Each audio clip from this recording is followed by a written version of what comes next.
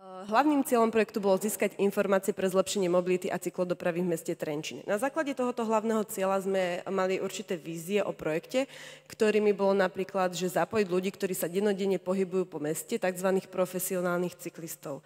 Aj kvôli tejto vízii sme si tak uvedomili, že kto sú profesionálni cyklisti, sú to uh, poštárky, tak uh, cieľ bol jasný, oslovíme poštu. Chceli sme aj zvyšiť vzájomné porozumenie, tým mm, myslím to, že chceli sme, um, chceli sme zvyšiť vzájomné porozumenie aj nás ako mesta uh, ohľadne aj inej organizácie, ako funguje pošta, ale získať aj vz, uh, nejaké kvalitné dáta, ktoré sme vlastne uh, vedeli, že poštárky teda s nimi disponujú. Na základe týchto dát sme chceli skvalitniť rozhodnutia, aby neboli rozhodnutia na útvare mobility len na základe nejakých pocitov alebo na nejakých interných zistení, ale aby sme im priniesli aj dáta zvonku, z externého prostredia. A chceli sme zistiť potreby aktuálne cyklistov, aké vnímajú bariéry na cestách, alebo aj ako vnímajú už aplikované opatrenia, ako napríklad spomalenie dopravy eh, alebo existujúce cyklotrasy, či sa im dobre jazdí po meste a rôzne iné. Eh, čo sa týka projektu, tak cieľová skupina, my vlastne máme v Trenčine 4 pobočky pošty, ale 3 sú vlastne také, ktoré vedia, alebo teda celé územie vedie nejako nám reprodukovať, tak sme si vybrali teda tri distribučné pobočky. Uh, projekt trval od mája až do júla, ale dá sa tak povedať, že uh, projekt stále ešte trvá, lebo uh, my ešte vlastne tie dáta ďalej s nimi pracujeme, takže nie je to úplne jednoznačné, že projekt skončil. Čo sa týka rozpočtu, um, vedeli sme, že budeme musieť nejako motivovať tie poštárky tým, že chceme od nich údaje, chceme ich my proaktívne osloviť, e, neboli vlastne e, z vlastnej iniciatívy nejako, že oni by nám chceli niečo povedať, tak sme chceli ich aj patrične nejako odmeniť, tak sme Alza e, poukažky vymysleli ako takú adekvátnu odmenu. Plus odčerstvenie to nám celé robilo rozpočet 550 eur. Fokusová skupina bola zložená z doručovateľiek, z facilitátora a z odborníka z mobility. Um, čo sa týka nástrojov, tak tam uh, vlastne uh, také klasické nástroje, akurát by som možno uh, poukázala na tie mapy a piktogramy, ktoré teda tie poštárky uh, sa tak skepticky voči tomu zo začiatku stavali, že na čo nám to je potrebné, ale v konečnom dôsledku to veľmi pomohlo tej diskusii a k tomu, aby sme získali tie dáta. Eh, na tejto mape môžete vidieť teda aj tie pobočky v tom Trenčine. Tá pošta Trenčín 5 eh, je mestská časť Západ, pošta Trenčín 1 to je tá pobočka, kde sme vlastne eh, oslovili teda dve mestské časti a to Stred a Sever a pošta Trenčín 8 to je pošta, ktorá je na juhu a vlastne my sme my sme v každej tej pobočke e, uskutočnili také úvodné stretnutie, kde sme prišli teda za tými e, vedúcimi pracovníkmi pošty, vysvetlili sme im ten cieľ, boli veľmi pozitívne k tomu naklonení a e, vlastne umožnili nám to, aby sme, aby sme to prezentovali tým poštárkám a spravili tzv. taký nábor a umožnili im sa rozhodnúť, či do tohoto pôjdu alebo nepôjdu. Ehm, myslím, že sa im to celkom pozdávalo a celkom videli v tom potenciál, tak boli tak pozitívne k tomu naklonené, že vlastne nám ehm, sa tá fokusová skupina naplnila v každej pošte a okrem teda pošty Trenčín 5, ale tam mali aj nejaké také personálne problémy, takže myslím si, že keby mali dosť zamestnancov v tom čase, aktívne pracujúcich, tak by sa nám táto fokuska naplnila aj na tej pošte. Mm, čo sa týka samotnej metodiky, tak e, to privítanie a otvorenie diskusie sme chceli poňať tak trošku netradičnejšie, tým, že sme aj poštárky čakali pred úradom, e, aby sa cítili tak príjemne, aby, aby nemali pocit z toho, že idú niekde na úrad a bude to také moc také zviazané, také ako to niekedy na úradoch býva, že idete za úradníkmi. Nastavili sme si pravidla a časový harmonogram stretnutia, tak aby to vyhovovalo im a striktne sme sa ho držali, hlavne toho časového hľadiska. Tie fokusky vlastne trvali hodinu a pol a naozaj sme si dali záležať na to, aby sme to dodržali. Myslím si, že sme nemali nejaký problém s tými pravidlami akurát uh, v jednej fokuske neboli úplne komfortní s tým, že sa to bude nahrávať a že si chceme spraviť ilustračnú fotku.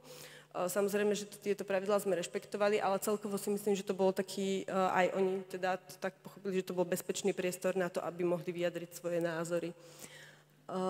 Vysvetlili sme si cieľ, ktorý teda pochopili a práca s mapou, tu môžete vlastne vidieť aj naľavo, ako taká už mapa z toho stretnutia vyzerala.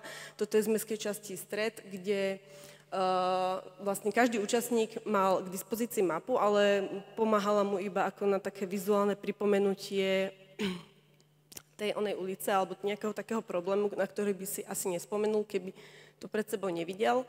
Uh, značne si robil do mapy len facilitátor, uh, s tým, že ku koncu stretnutia sa mapa pripla na flipchart a aj všetci účastníci diskusie mohli vidieť, že kde, sme, kde máme viacej tých červených bodov, čo teda znamenalo negatíva a negatívne podnety eh, a kde máme teda nejaké také pozitívne miesta. Eh, tým, že sme si to potom zhrnuli a prešli, tak opäť eh, bolo veľmi veľa zase nových a nových podnetov, že aha, že tu sme ešte neboli, tak poďme sa povenovať tejto oblasti. Takže tá mapa bola veľmi akože taká prínosná na tomto stretnutí.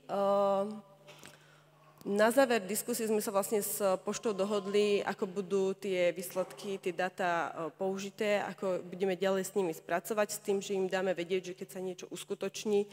A myslím si, že toto bolo aj dôležité, aby to aj oni pochopili, ako teda funguje ten úrad, že uh, nepovedia nám, že nejaké proste, nejakú bariéru a a bariéra by bola ešte ten lepší prípad, ale nejakú rozbitú cestu a že dobre, že budúci týždeň už sa pôjde na tom pracovať, tak aj toto bolo prínosné, že pochopili tie procesy, ako, ako fungujú reálne.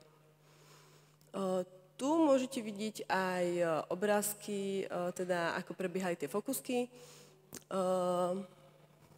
Myslím si, že že vlastne, že na všetkých bola naozaj príjemná atmosféra, keď sme chceli, aby začali teda s pozitívnymi uh, príkladmi, tak boli všetky, všetky fokusky naladené tak, že dobre, povieme vám teda všetko, čo je v meste zlé, ale uh, nakoniec akože bolo aj veľa pozitívnych vecí, tak boli aj oni z toho sami takí prekvapení, že, že naozaj, že, že nikdy sa ne, nezamerávali alebo nefokusovali na to, že čo je dobré, ale iba, že čo je zlé tak sme ich trošku aj, aj takým iným prístupom naučili. Um, môžeme ďalej.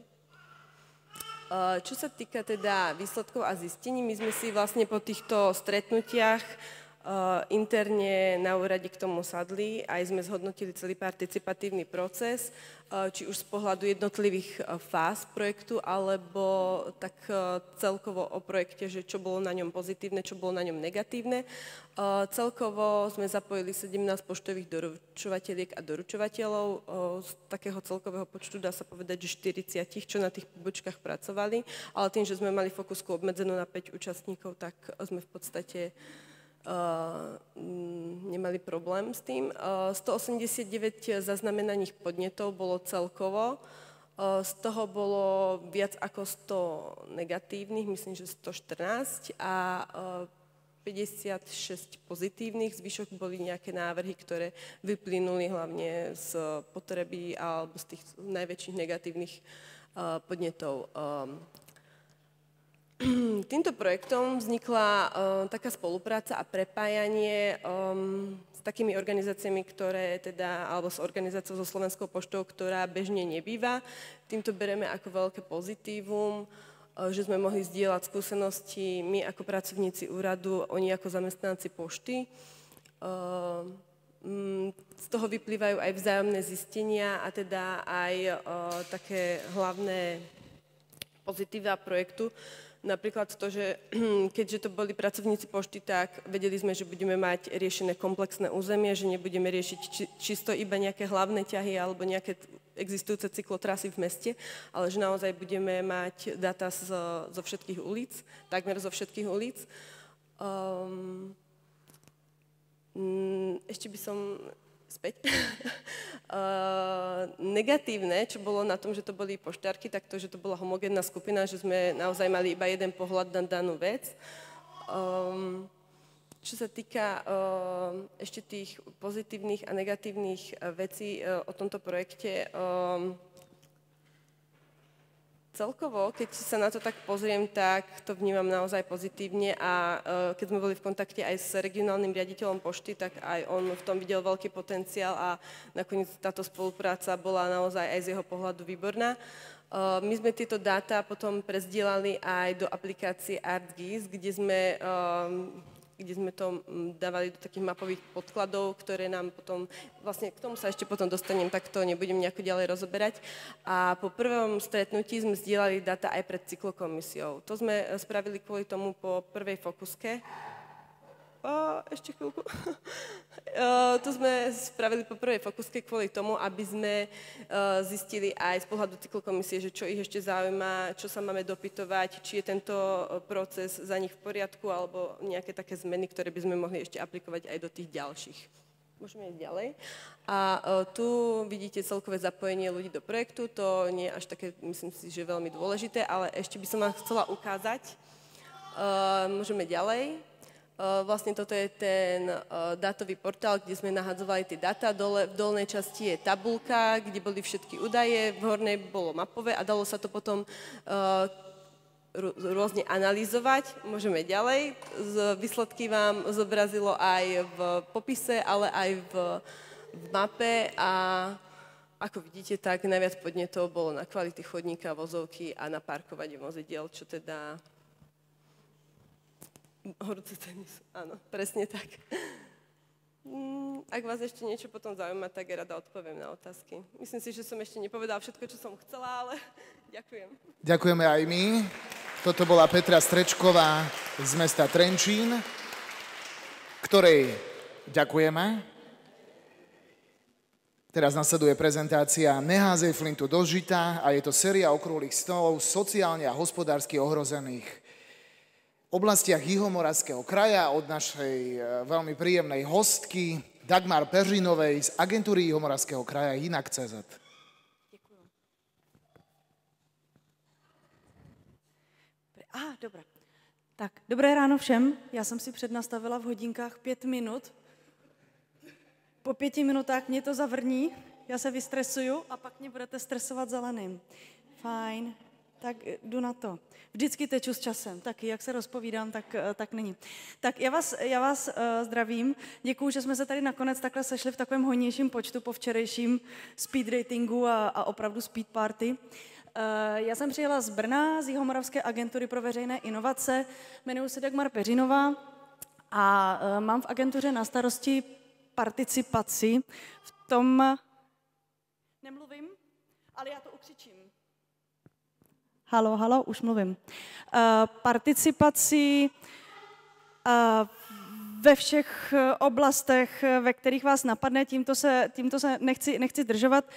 Nicméně pomáhám participativně jako support svým kolegům v jejich agendách a současně mám za úkol pomoct zavést participativní plánování do struktur Jihomoravského kraje a krajského úřadu.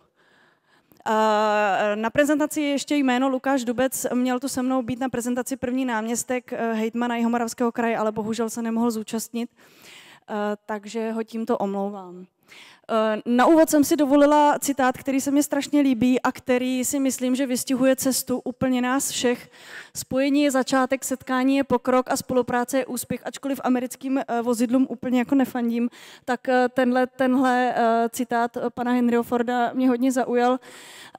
Naše cesta, kterou jsme si v tuhle chvíli zvolili, jedna z cest, kterou jsme si zvolili, byla cesta do regionu za uh, vlastně úplně tou, eh, tím, těmi největšími hybateli společenského a občanského života a tím jsou spolky a různé, různé eh, skupiny eh, občanských organizací. My jsme tu sérii kulatých stolů nazvali Neházej flintu do žita s takovou tou mm, slovní hrádkou tu žít. Já vám vysvětlím tu motivaci, proč, proč, se, to takhle, proč se to takhle jmenuje. Ta motivace, proč jsme se rozhodli jít do regionu a proč jsme se rozhodli jít zrovna za eh, těmi občanskými organizacemi, byly dvě. První motivací je, jak jsem zmiňovala, eh, to, že ty občanské organizace, různé folklorní združení, různá, různá máte ty spolky, když, když řeknu fotbalisti, rybáři, hasiči, včeláři, zahrádkáři, různé dětské sbory, dětská gymnastika, všecko, co vás napadne, co vy ve svých obcích máte, tak vy víte, že tohle to jsou ti lidé, ti aktivní lidé, kteří udržují tu komunitu v nějaké aktivnosti, pořádají pro ně různé, různé uh, aktivity. Uh, v podstatě to jsou ti, co Eh, zajišťují ten kulturní a společenský život eh, v obcích. Druhou motivací, která s tím souvisí, je nová hospodářská strategie Jihomoravského kraje, kterou si kraj v loňském roce nechal zpracovat. A v rámci té hospodářské strategie udělal žebříček oblastí, které jsou na tom hospodářsky a sociálně dobře, ale samozřejmě na tom chvostě zůstaly regiony a obce, které jsou na tom hospodářsky a sociálně, sociálně špatně. A my jsme si řekli, no tak dobře, tak eh, teď kraj bude podporovat právě ty hospodářské a sociálně ohrožené regiony, ale jak je bude podporovat? Za sebe říkat, co potřebujete postavit, si postavíme tam silnici, víme, že tam nejsou že tam nejsou uh, firmy a jak to uděláme. My jsme si řekli, no ale pojďme to dát obráceně. Pojďme do těch regionů uh, kvůli tomu, co, v čem jsou ty regiony silné. Pojďme neustále neukazovat, v čem ty regiony jsou špatné, v čem jsou na chvostě.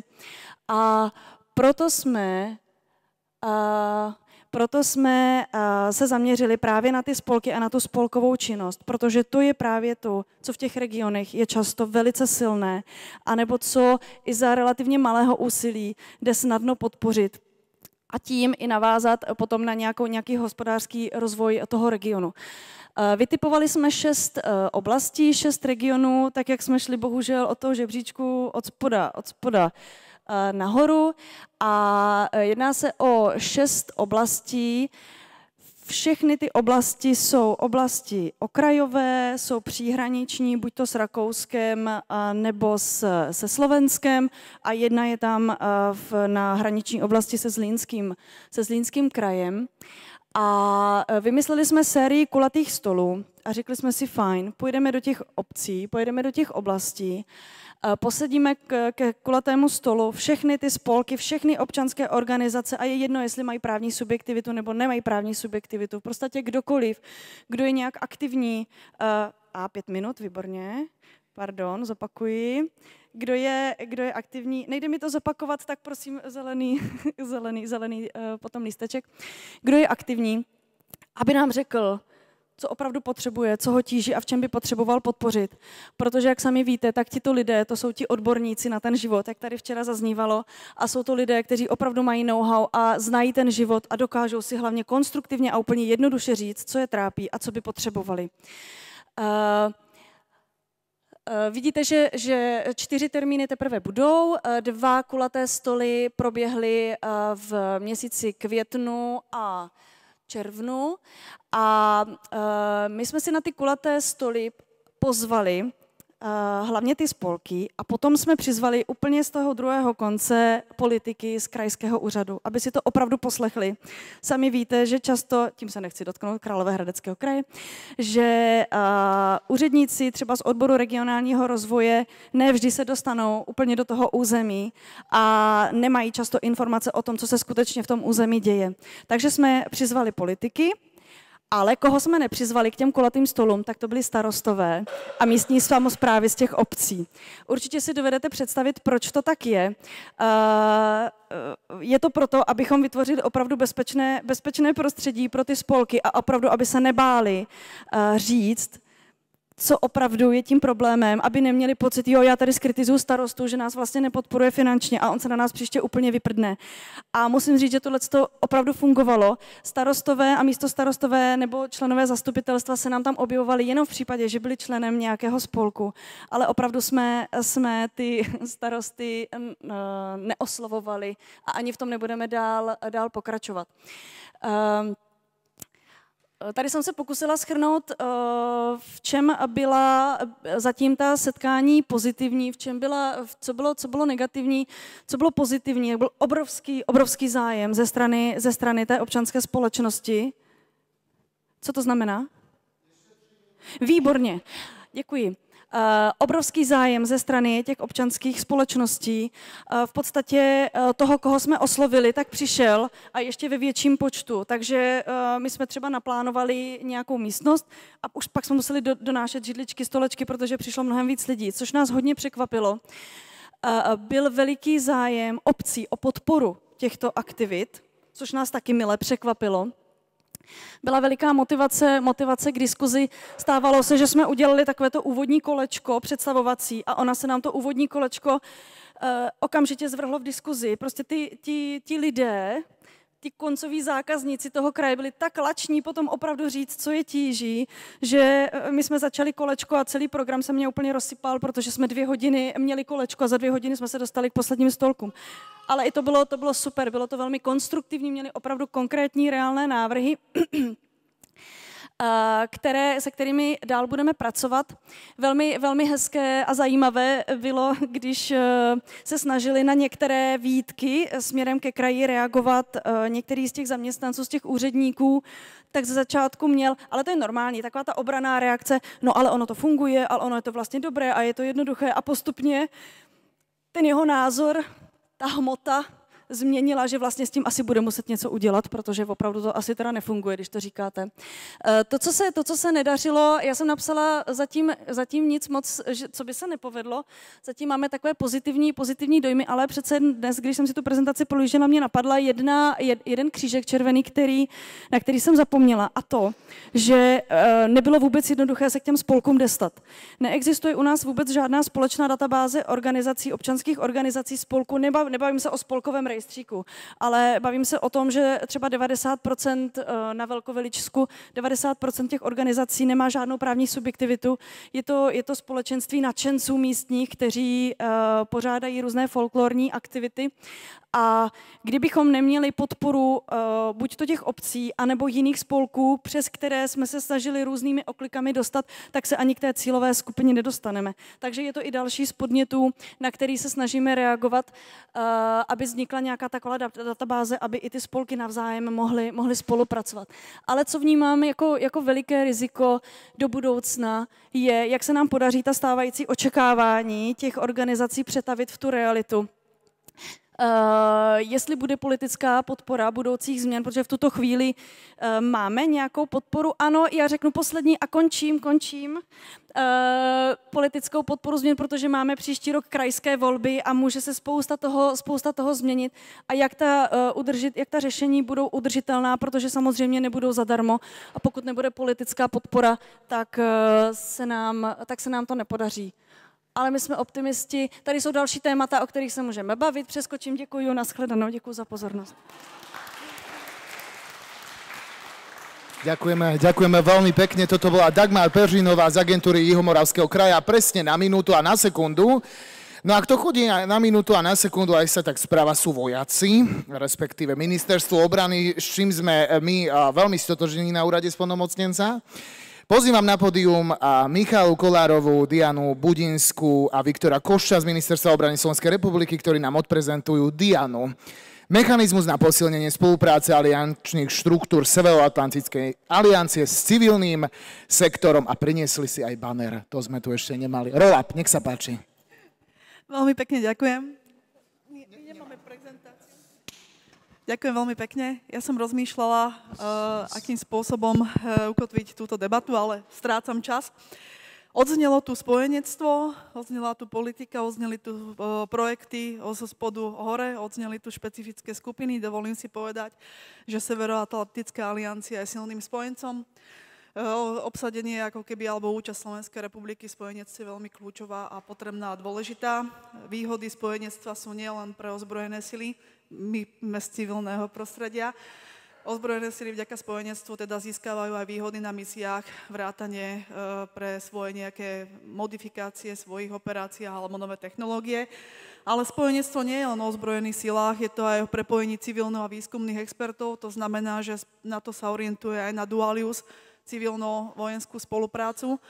A nehovoriac o tom, že participácia síce e, bola uplatnená a naplnila svoj účel pri stratégii NATO 2030, ale nebudem tu opisovať nejaké dokumenty okolo obrannej stratégie, jej obsah, ale skúsim pristúpiť k tomu, že aby bola úspešná e, vlastne e, táto implementácia týchto strategických dokumentov, je nevyhnutné participatívny proces uplatniť aj pri ich nástrojoch. Tie nástroje, ktorí sú, ktorí sú nositeľom smerom do toho ekosystému a v tom ekosystému sú tie špecifické skupiny, ktoré sú ako keby e, zdrojom e, úspešných príbehov a teda tých výsledkov.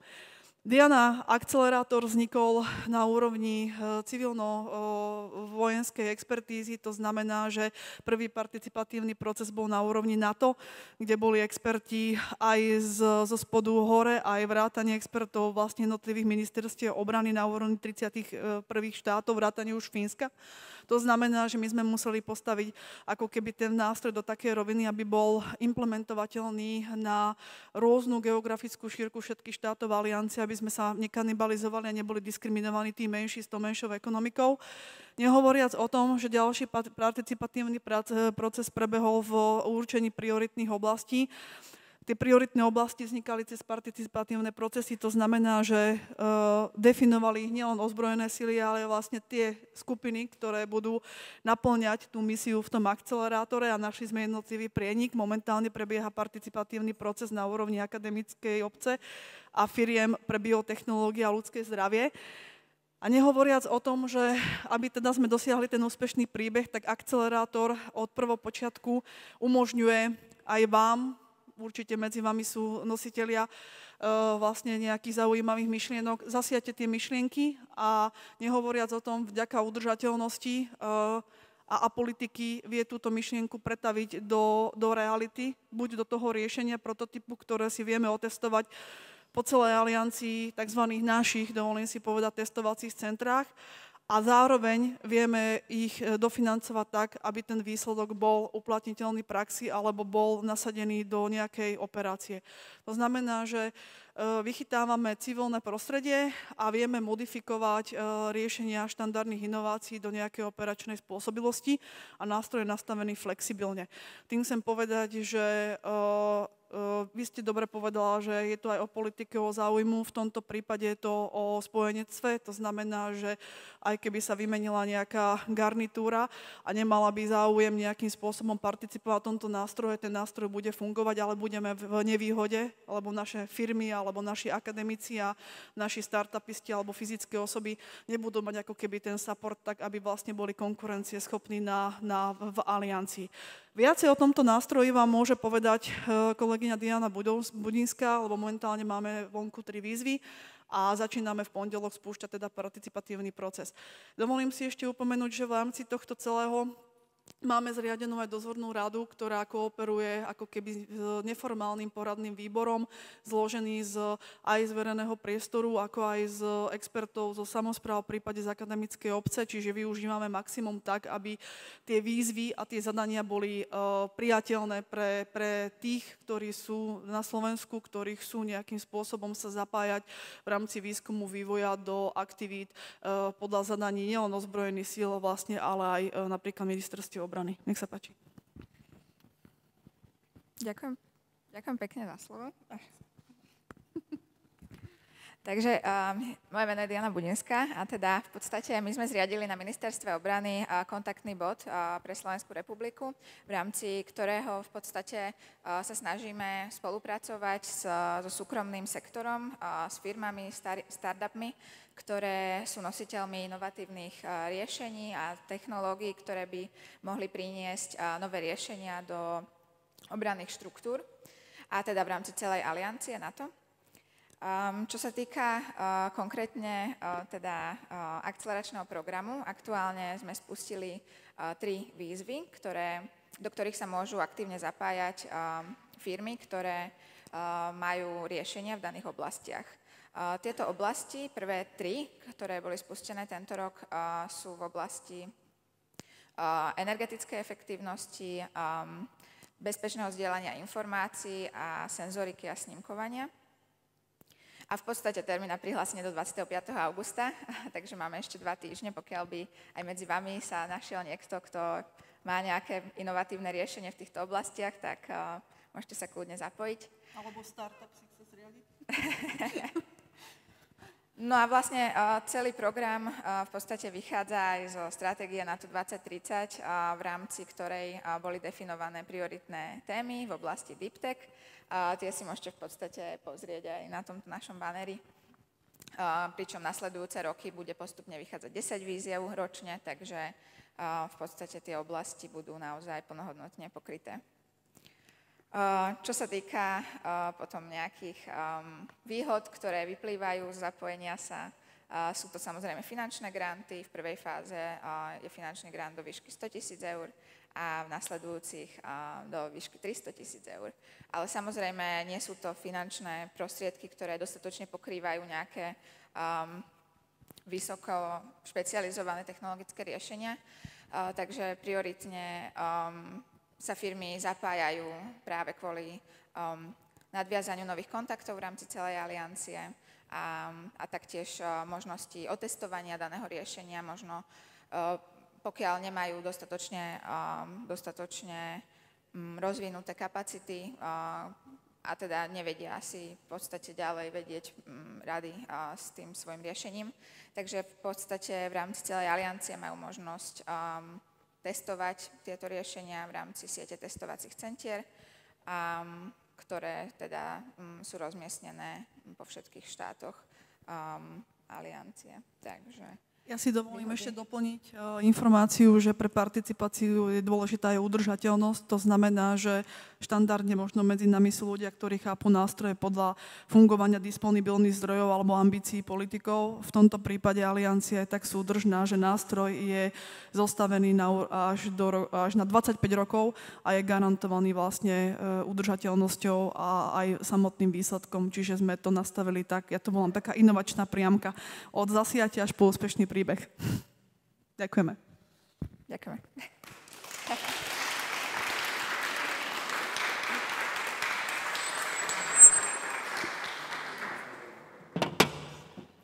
Ďakujeme aj my veľmi pekne. No povedal som, že na čas, dokonca skončili o dve minúty skôr. A ďakujeme Michale Kolárovej a Diane Budinskej a participatívny proces, a to je potrebné spomenúť, k tomuto úžasnému akcelerátorium pre inovácie v oblasti Diana konzultovali aj s našim úradom v rámci učiacich sa inštitúcií, takého konzultačno-vzdelávacieho cyklu, ktorý náš úrad organizuje. Takže chceli by sme aj my vás vyzvať, ak máte chuť participovať, respektíve konzultovať váš participatívny proces, tak sme vám otvorení do Korán. Štvrtá prezentácia, ktorá uzavrie prvý blok a potom budete mať priestor na vaše otázky práve Nasleduje, prosím, pripravujte si otázky, ak nejaké máte, budú interaktívne, nemáme slajdo, budeme sa pýtať naživo. Ja teraz pozývam na toto improvizované nepódium, prezentáciu našich priateľov z Česka a bude to prezentácia dátový portál Kráľovehradeckého kraje, Pavel Bulíček, Radmila Velnerová a Tomáš Slezák z Kráľovohradeckého kraje. Vašich 10 minút, nech sa páči. Děkujeme. Dobrý den, ahoj. Eh, já jsem Pavel Bulíček, eh, budeme vám tady prezentovat datový portál Královéhradeckého kraje, který ve spolupráci hlavně s analytickým oddělením, které máme jako jeden z mála krajů eh, vlastně na našem úřadě.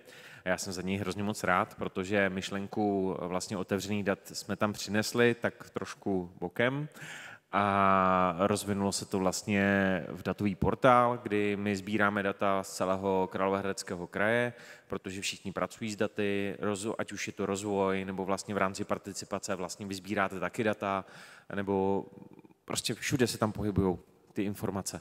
No a my jsme se rozhodli, že je zveřejníme, to znamená, že my jsme je dali do nějaké struktury, teda až po, nějaké, po nějakých hekatonech a tom, že jsme zjistili, že vlastně se využít nedají A potom, když už jsme je měli, sbírali jsme je, tak jsme se ještě rozhodli je přiblížit lidem. To znamená, pokud někomu dáte tabulku, on se na ní nepodívá, nebo nevyzná se jí, nebo nebude vědět, co ty data znamenají, a my jsme ještě trošku při, předělali, přiblížili lidem a hlavně jsme jim je poskytli a myslím si, že v krásném provedení a ten zbytek, eh, jak to je provedený a co všechno, tak vám tady představí právě Radka tady společně s Tomášem, říkám to správně, promiň, eh, s Tomášem a eh, vlastně vám představí i to nějaké řešení a my jsme samozřejmě sdílní, takže eh, jsme to poskytli i dalším krajům v rámci České republiky a samozřejmě se nebráníme tomu, že pokud se na to někdo zeptá nebo přijde za náma nebo bude potřebovat nějakou online konzultaci nebo vědět, jak jsme to vlastně udělali,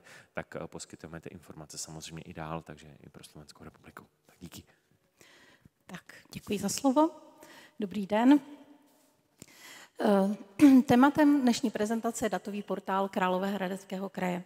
Datový portál je eh, takovým centrálním datovým místem pro veřejnost, Eh, navíc k tomu eh, jeho součástí je lokální katalog otevřených dat, kde otevřená data jsou zobrazeny formou mapových výstupů a to je právě eh, to plus, který tenhle lokální katalog dává, že vlastně běžný občan vidí přímo v mapách, jaké otevřená data kraj zveřejňuje. Součástí jsou taktéž i interaktivní výstupy, eh, které jsou zpracovány z dat z veřejně dostupných zdrojů a z dat kraje. Eh, datový portál má celkem v, téhle, v téhle fázi 12 sekcí. Eh, jsou rozděleny podle oblastí, jako je například investice, zdravotnictví, kultura, cestovní ruch. Čerpají z něj média, veřejnost, studenti, obce a naleznete zde mapy, analýzy, otevřená data, statistiky a datové karty. Tady máme pro vás ukázku, jak vypadal náš eh, první katalog eh, otevřených dat. Eh, my jsme v roce 2018 na základě podnětu pana náměstka Bulíčka a Komise pro otevřenost Rady Královéhradeckého kraje otevřeli naše první datové sady otevřených dat. Takhle vlastně vypadala statická stránka na stránkách kraje. A následně jsme uspořádali hackathon k vývoji webových aplikací nad otevřenými daty, kde jsme jednak dostali zpětnou vazbu, jak eh, máme zpracovaná otevřená data a tenkrát vlastně vznikla taková první vize datového portálu, eh, kam bychom rádi umístili aplikace, které bychom eh, z hackathonu rozvinuli dál. Eh, tuhle vizi se nám podařilo uskutečnit, eh, protože eh, v roce 2020 v prosinci byl schválen záměr realizace datového portálu Královéhradeckého kraje radou a byl osloven právě k realizaci odbor analýz a podpory řízení, který disponuje stabilním týmem pěti analytiků. K ruce nám ještě byli externí vývojář a geograf. A nám e, ještě vlastně nám byla poskytnuta i pracovní skupina, e, která byla e, ze zástupců odborů, tak aby se začaly sdílet data napříč úřadem a vytvořili jsme jednotnou datovou základnu, udělali jsme lokální katalog otevřených dat, který jsme automatizovaně napojili na národní katalog otevřených dat a všechno se nám povedlo v dynamickém tempu 11 měsíců. Jaký byly přínosy? Jednak jsme si portál vytvořili vlastními silami, eh, pak jsme, se nám podařilo vytvořit jednotnou datovou základnu a součástí toho bylo i úprava metodiky zadávání dat do informačních systémů, tak aby data z něj vycházela v jednotné podobě. No a e, zároveň e, se nám podařilo i to, že portál získal několik, e, několik ocenění odborné veřejnosti na národní úrovni. Máme i jedno ocenění na mezinárodní úrovni a dostal se mezi 40 nejinspirativnějších projektů veřejné zprávy pro Českou republiku. Eh, následně na to jsme byli oslovováni eh, vlastně ke sdílení dobré eh, praxe mezi subjekty veřejné zprávy a mezi kraji, kde jsme právě sdílíme dobrou praxi v oblasti otevřených dat, sdílení dat pro občany a jejich vizualizace. Tady už eh, se dostáváme přímo do datového portálu Královéhradeckého kraje. Zde je ukázka významných eh, investičních akcí do zdravotnictví, kde vlastně data jsou opatřeny prostorovými souřadnicemi, eh, takže jsou zobrazeny v mapě. Ke každému tomu mm, bodu je opatřena fotografie a popis. Zde je ukázka dashboardu, kdy vlastně data zobrazujeme eh, pomocí interaktivních výstupů. Eh, máme tady kotlíkové dotace, což je vlastně výstup z dotačního portálu kraje. Eh, celkem pěkná data jsme dostali z oblasti sociální péče. Eh, zde vlastně vidíte zobrazený poskytovatele eh, sociálních služeb na mapě. Ostatní kapacitní a výkonová data již zobrazujeme formou interaktivních výstupů a dashboardů. Taktéž jsme dostali i pěkná data z oblasti školství. Zde vlastně vidíte třeba vývoj počtu dětí v mateřských školách, základních školách, nebo kolik žáků základních škol odešlo na víceletá gymnázia.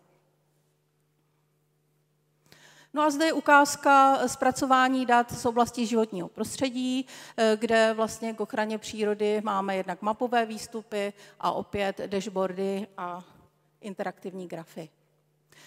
Statistická data zpracováváme do datových karet, které mají formát vhodný pro pro sdílení na sociálních sítích. A datový portál je zároveň i rozcestníkem všech, eh, všech portálů kraje a aplikací, které kraj má. A nyní slovo, eh, předám slovo mému kolegovi, eh, panu Slezákovi, který je analytikem a geografem a blíže vám představí katalog otevřených dat. Tak dobrý den i ode mě, asi se slyšíme. Katalog otevřených dat je umístěn na datovém portálu našem, kde vlastně máme jak otevřená data Královéhradeckého kraje, tak tam máme i pět datových sad agentury CheckInvest. Takže snažíme nacházet i partnery, kteří by, kteří by svoje data měli i na našem katalogu otevřených dat. Eh, především se snažíme o to, aby tam docházelo ke sjednocení názvu atributových sloupců a vlastně k dodržení otevřených formálních norem od ministerstva vnitra, teďka už je to digitální a informační agentura aby vlastně všichni mohli lépe pracovat s těmi daty a věděli, co vlastně jednotlivé sloupce obsahují.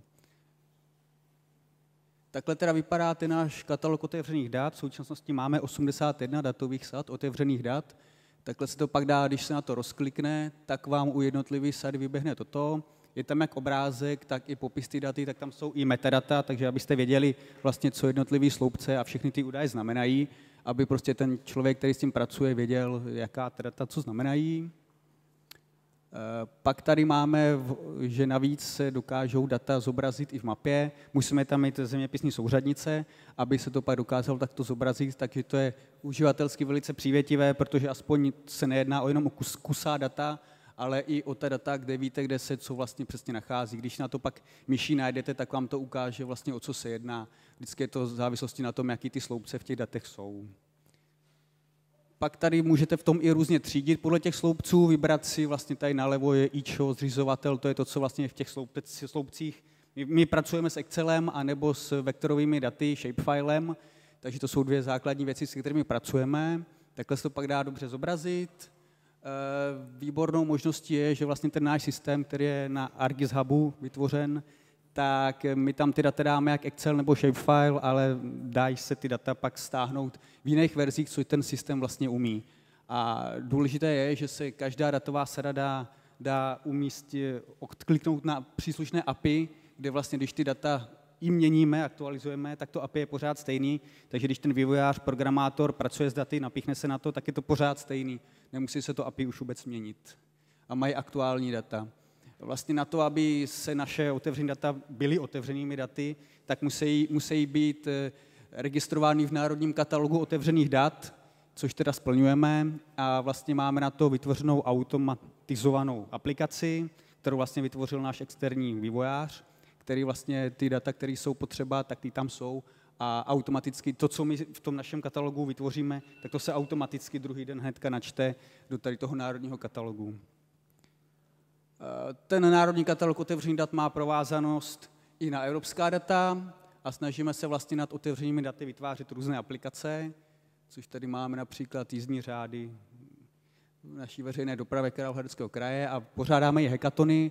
Hekaton bude teďka letos v říjnu pro střední a vysoké školy, kde vlastně ty studenti nám vytvoří návrhy aplikací a s některými je možnosti navázat spolupráci. O co se snažíme, kdy nám vlastně jeden z těchto týmů vytvoří aplikaci, kde budou umístěny všechny naše datové sady, bude to neustále aktualizováno a bude tam využitá i um, umělá inteligence, kde bude chatbot a vlastně tam se dokáže podle slov, který tam napíšete, vám to najde ideální vhodnou datovou sadu, kterou tam budete hledat. A to je za nás vše. Děkujeme.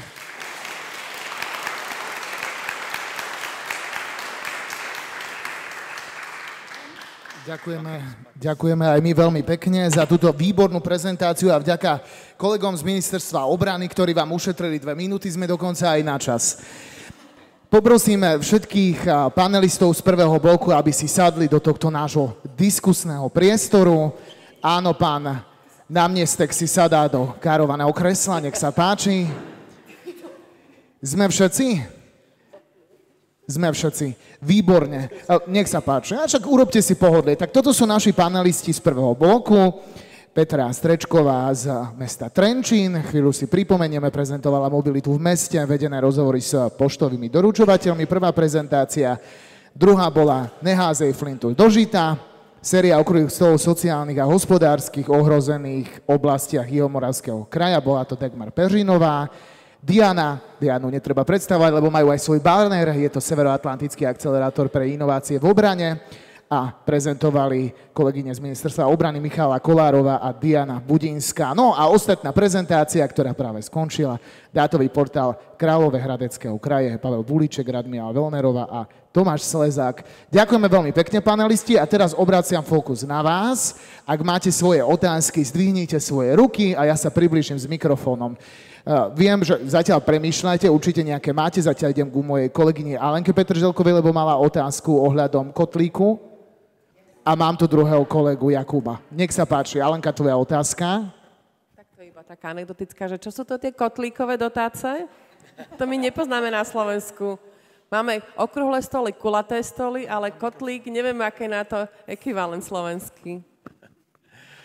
Kotlíkové dotace jsou dotace na výměnu topných těles, to znamená, pokud vy si eh, máte nějaké stará kamna nebo něco takového, tak je můžete vyměnit za nové, nebo třeba i teplné čerpadlo nebo něco takového a vlastně Česká republika, to je národní eh, program, eh, podporuje tu, tu přeměnu z toho, z těch starých kamen na třeba nové nebo na splinovací kotle a na kotle na štěpku a tak dále. Čiže kotlíkové dotace sú rovnaké ako kulaté stoly. Jakub? Není to nic jako sídlem. A ďakujem. Ja mám otázku na mesto Trenčín.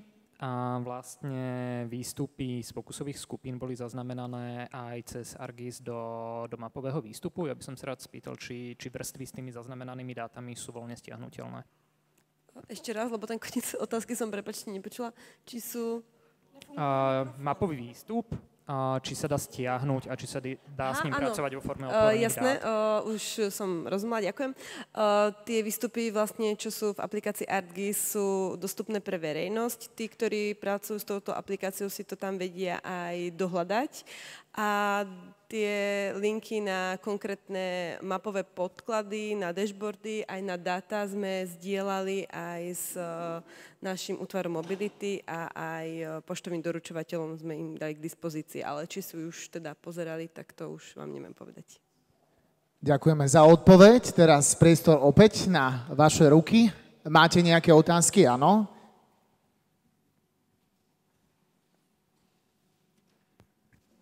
Dobrý, ja sa chcem spýtať tiež Trenčina, že vlastne veľmi sa mi páčilo, že ste zapojili tých poštových doručovateľov, lebo chodia pravdepodobne do každého domu. Ale nemáte náhodou v Trenčine aj službu napríklad ako je Volt, čo sú vlastne tiež profesionálni cyklisti, ktorí doručujú, ale tí si podľa môjho názoru vedia aj tie trasy trošku vybrať, trošku, že nemusia ísť presne po tej ulici do každého domu, ale vedia si vybrať tú trasu, že tam by boli možno iné dáta. Že či ste uvažovali nad tým zapojiť týchto profesionálnych cyklistov? Uh, áno, bola tu aj takáto možnosť a tých možností je naozaj veľa, lebo my sme si to uvedomili, že vlastne keď sme oslovili iba poštu, tak sme um, ako keby vyčlenili aj ostatné skupiny, ako napríklad Bolt, ale aj úplne, uh, úplne iné skupiny, ako sú napríklad rekreační cyklisti alebo rodiny s deťmi, ktorí tiež majú tie trasy také svojské a iné. Um, je to na zváženie, je to možno na možno ďalšiu budúcu spoluprácu. Um, určite boli výhody aj z toho, že to boli poštové doručovateľky a určite by tie výhody plynuli aj z iných skupín. Takže sme otvorení aj ďalším spoluprácam. Ďakujeme za odpoveď, nech sa páči. Máme na tento blok otázok 15 minút. Máte niekto otázku? Nech sa páči, pani Petoprstá. Eh, dobrý deň, ja sa chcem spýtať uh, dám uh, z uh, ministerstva vnútra Michály a Diany. Vy ste vraveli o tých grantoch. Mňa tam zaujalo, že ministerstvo teda, alebo podporuje aj mentorstvo a vzdelávanie. Či sa nejaký, nejaká časť toho grantu určuje aj na túto, na túto oblasť? Oč, Eh, ďakujem veľmi pekne za otázku, eh, pani Petrovrstá. Eh, momentálne sme spustili pilotný projekt Diany.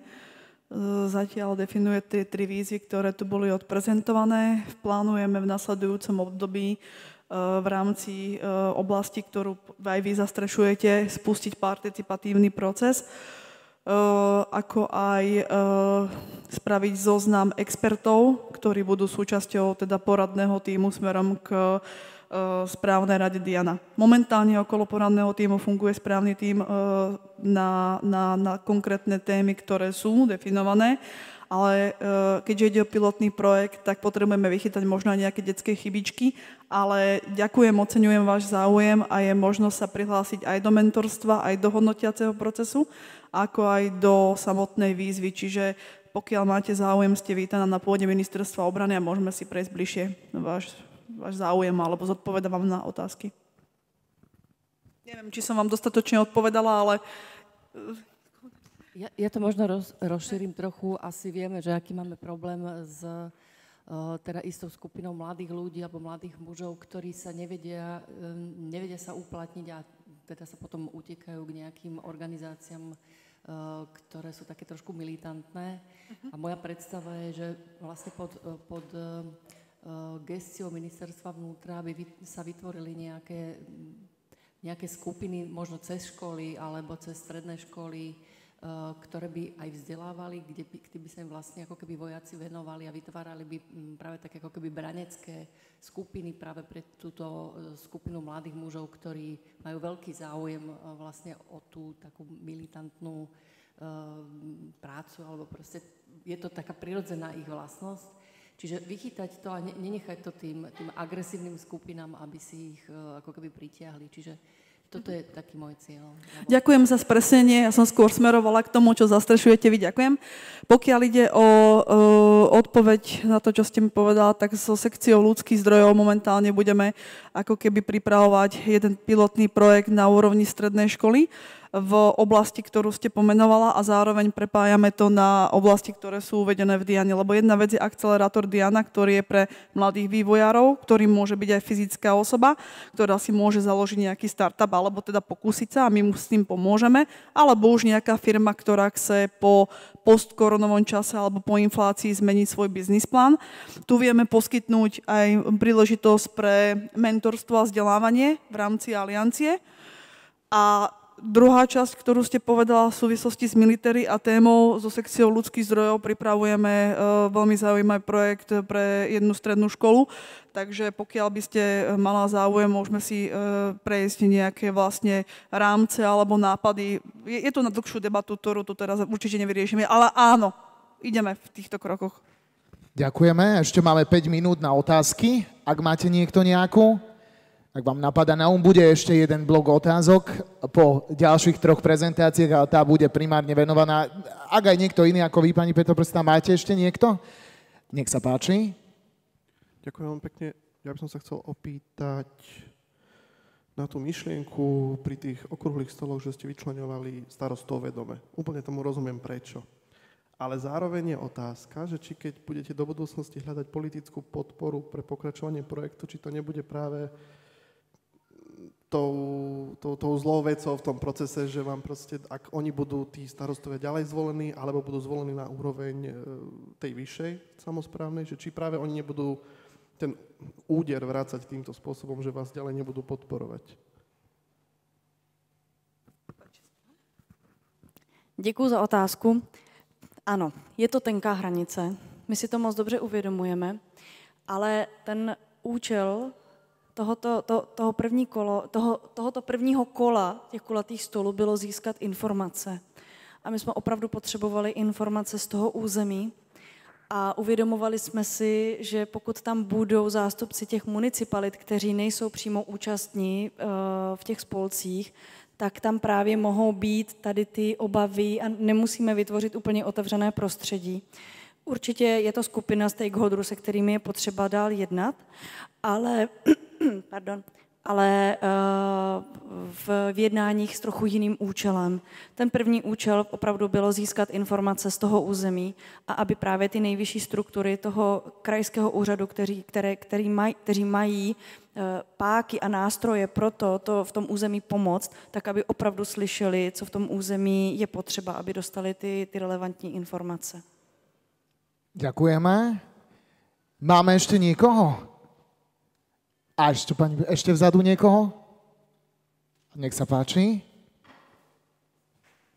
Ďakujem. Ja by som sa možno chcel spýtať uh, takú vec, že v podstate všetky tieto veci boli také, že na úradoch, predpokladám, že úplne že nové, že či si sa nestretli s takouto rezistenciou kolegov, že, že OK, že a na čo zase vymýšľate, nemáme, akože máme kopec iných vecí, prečo vymýšľate, budú z toho len problémy, ako keby, že, že ako si sa možno že s týmto vysporiadali. Ja neviem teraz, že kto, toto pán zástupca Heitmana sa sa určite usmieva, takže, ale kľudne akoby aj ostatní, že uh, povedzte.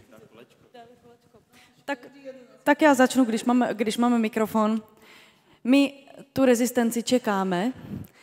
Uh, to, co nezaznělo, nestihla jsem to říct, co se s těmi výstupy z těch kulatých stolů bude dělat. Teď v tuhle chvíli ty kulaté stoly probíhají, my sbíráme podněty od uh, veškeré té cílové skupiny a máme v plánu na podzimní radu kraje, Eh, dát takový souborný dokument s, s eh, návrhem opatření do toho území, jakoby implementační opatření v souvislosti s tou strategií hospodářskou.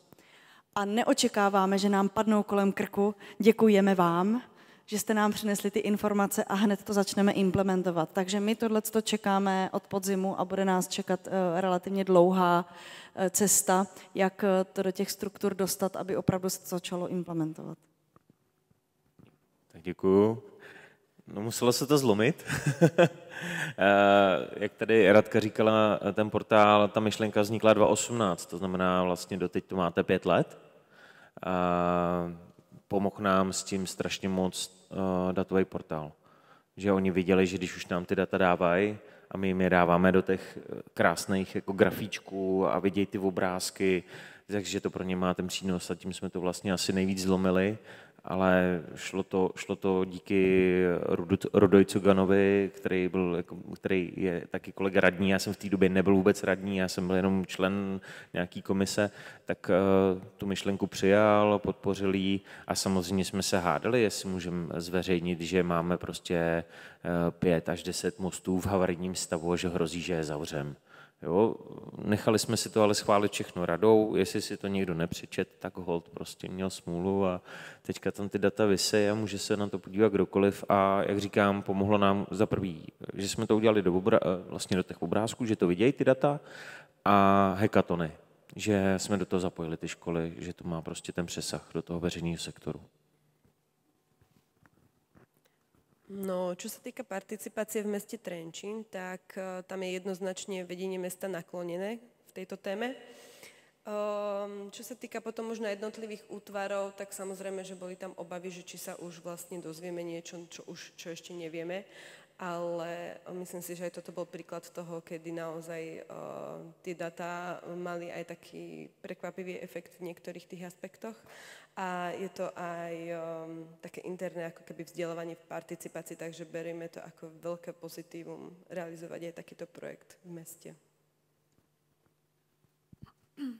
Z pohľadu aliancie musím pochváliť alianciu ako súdržnú v tejto oblasti v porovnaní s Európskou komisiou. Aliancia v rámci spojenectva aktívne vlastne uplatňuje participatívny proces, lebo tie záväzky sú nie na obdobie 3, 4, 5 rokov alebo podľa politického cyklu, ale výhľadovo už na ďalší 25 rokov, vďaka vlastne aj tým ozbrojeným silám. Čo sa týka ako keby toho, čo bolo tu povedané v neposlednom rade, je veľmi dôležitý aj prístup toho koordinátora a facilitátora. To znamená, že častokrát sa stalo aj v mojom prípade, keď som viedla nejaký tým alebo lídrovala, tak to boli trošku aj šokové terapie a každý ďakoval za ten prístup, akým spôsobom ľudia e, z môjho týmu a experti pristupovali ku e, komunikácii smerom k špecifickej skupine, čiže tomu privátnemu sektoru alebo akademickému sektoru. To znamená, že e, veľmi dôležité je povedať pri štandardných dotáciách. Teraz Diana nie je štandardná dotácia, ktorú dáva ministerstvo obrany. Je to vlastne výzva, ktorá je na portáli NATO a my sme kontaktný bod, ale sme poprelinkovaní vzájomne. Tým chcem povedať, že často sa stáva na Slovensku a možno, že aj v Českej republike pri vyhlasovaní víziev, že dochádza tzv. nedorozumeniu. Dôležité je to, že ten príjemca častokrát nepochopí ten obsah tak, aby mohol využiť ten potenciál, ktorý má a my pozeráme sa často na neho, že o čom rozpráva. A my sme, ja som sa snažila aj, uh, mám mladý dynamický tím, viesť uh, svoj tým tým spôsobom, že radšej sme uprednostnili debatu, otvorili sme sa svetu, aby sme vychytali tie rizika a predvídali, uh, či ten úspešný príbeh dosiahneme alebo nie, ako, ako keby sme čelili tej kritike. Tým chcem povedať, že častokrát je to o tom, že akým spôsobom pochopíme toho, kto bude vlastne ten príbeh realizovať. A tým sú momentálne u nás firmy a akademický sektor. Ďakujeme veľmi pekne. A tu ešte bola posledná otázka, pani Petoprstá. Mali ste ešte jednu? Ja sa chcela spýtať, veľmi ste mi nahrali na, na smeč lebo je to asi otázka, na Slovensku máme taký nešvár, že vlastne po každej politickej, teda po každých voľbách tam dochádza vlastne k takým akože politickým výmenám. Niekedy je žiaľ aj na postoch veľmi kvalitných ľudí že ako sa vy vyrovnávate v Českej republike, že mm, všimla som si, že tam máte teda naozaj akože dlhodobý proces. Ako je, ako je to u vás vlastne, mm, nie som celkom zorientovaná teda u vás, že či máte tam nejakú definitívu, alebo tam môže dochádzať aj k takýmto politickým čistkám, alebo niekedy je to veľmi, veľmi na neprospech teda dobrých, dobrých projektov. Ehm, včera tady probíhala ta, taky debata, je to o kontinuitě, je to o tom, eh, že i ty vedoucí prostě musí být schopní na tom úřadě. Ten politik si musí nechat poradit. Jako, mm, může se stát, že to zanikne, jakmile budou další volby, je to tak, je tam to riziko, ale mm, pokud se budete tohohle toho bát, tak nikdy nic neuděláte. A prostě ten, ten úřad bude stagnovat hold některé projekty zaniknou, jiný vzniknou, je to nějaká obnova a já můžu věřit akorát to, že když to budeme dělat dobře, tak nás ty lidi zvolí znova a budeme v tom moc pokračovat. Takže nevymýšlet blbosti a pokračovat v tom dobrým. Já to asi jinak říct neumím a já, jestli Radka něco chce ještě k tomu doplnit.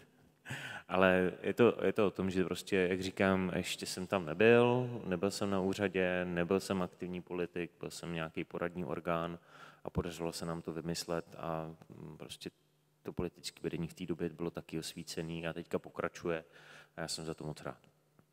Ďakujeme veľmi pekne a my vo vašej kontinuite pokračujeme do druhého bloku. Toto boli naši prví štyria panelisti, respektíve štyri prezentácie. Mobilita v meste, neházej flintu dožita, Diana a dátový portál Kráľové Hradeckého kraje. Ďakujeme veľmi pekne.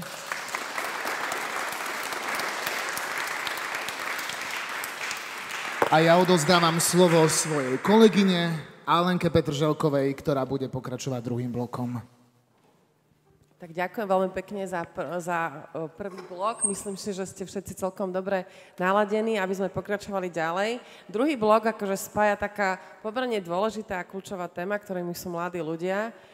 Je to vlastne celkom optimistické, že na Slovensku máme viac ako tri mesta, ale že práve na tejto naš, v tomto našom bloku zo siedmých prezentácií sú tri, ktoré sa venujú mladým ľuďom. Je to mesto Dolný Kubín, Bratislava a Lučanec, takže ja hneď nebudem zdržiavať a pozývam hneď sem ľudí z Dolného Kubína.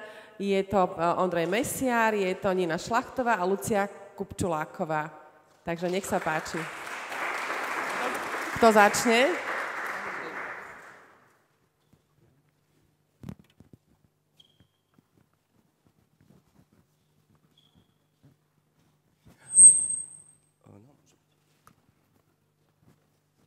Tak dobrý deň prajem, ja som teda Ondrej Mesiar z Dolného Kubína, dneska som tu aj s Luciou a s Ninou a prišli sme vám povedať taký príbeh, že ako vznikla Rada mládeže v Dolnom Kubíne, ktorá je poradný orgán primátora.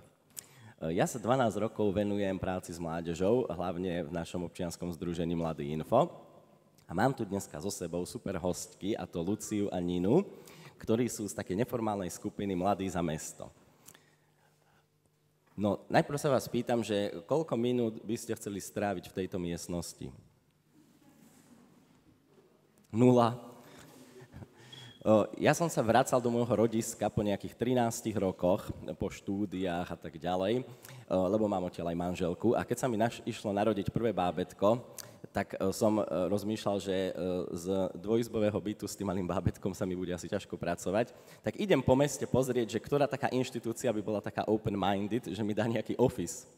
Tak na obchodnej akadémii som poznal pána zástupcu, lebo robili sme nejaký Erasmus, nejakých žiakov som poslal do Rumúnska.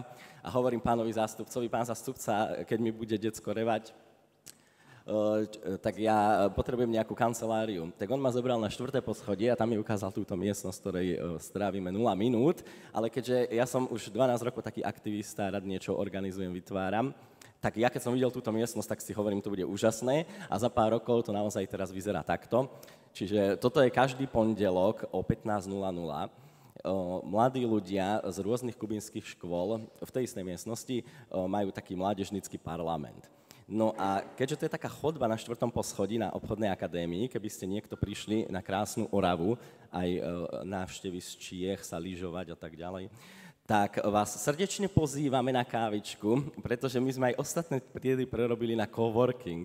Máme tam 30 coworkáčov rôznych, rôznych e, odborov od architektov cez e, dátových analytikov a podobne, ale keďže to je na strednej škole, tak ten mládežnícky parlament to bol nás úplný sen, že to tam proste musí byť a teraz to tam je. A o, v Žiline, keďže zriadovateľom školy je Žilinský kraj, tak dokonca to všetko pasuje aj do koncepcie, že vlastne využitie takýchto priestorov je vlastne aj podporované, že sa po, lebo kúrica stále musí svietiť, že využívajú sa tie priestory školy aj po vyučovaní na takéto krásne Erasmy, zbor Solidarity, mládežnické projekty, lokálne, medzinárodné a tak ďalej. A to je všetko odo mňa a teraz už prenechávam slovo mojim koleginkám.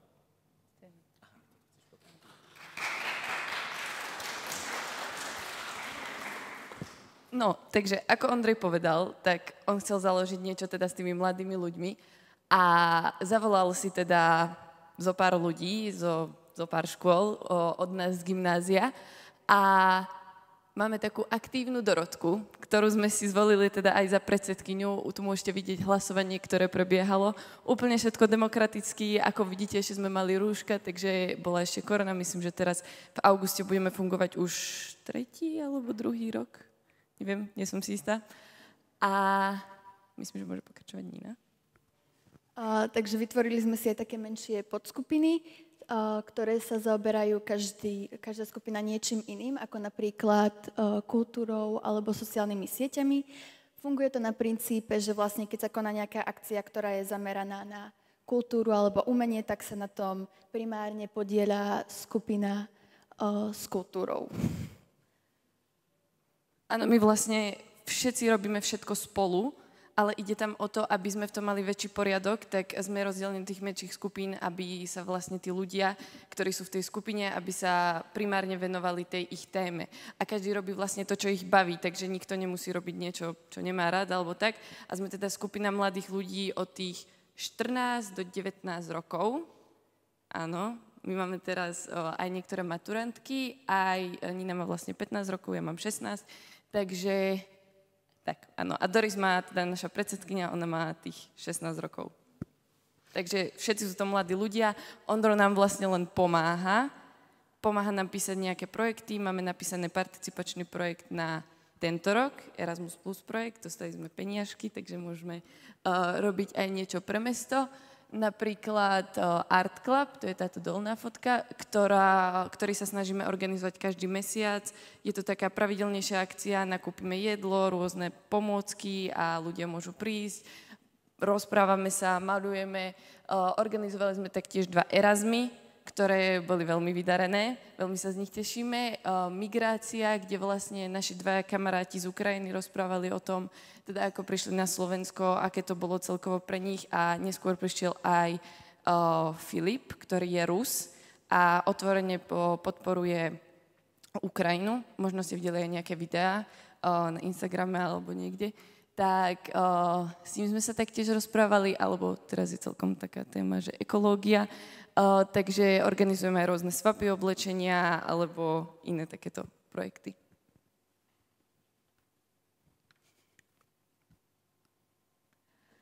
No, ďalšia vec, máme aj nejaké mobility, ktoré, sa, ktoré sme si napísali do toho participačného participačného projektu. Tu nás môžete vidieť v Bardiove aj s pani poslankyňou, druhá zľava. A ona chodí na všetky takéto projekty s nami. Boli sme v Bratislave, v Senici, v Bardiove, v Starej Ľubovni.